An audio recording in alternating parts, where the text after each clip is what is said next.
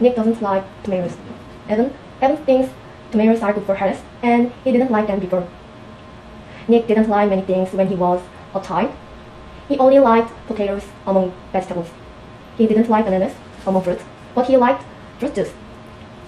He drinks coffee now, but he didn't like it when he was young. When he was young, he liked he liked many things children liked, like ice cream, chocolate, chips, and cookies. He especially liked tomato pasta. He he doesn't like tomato, but tomato sauce is different. He said.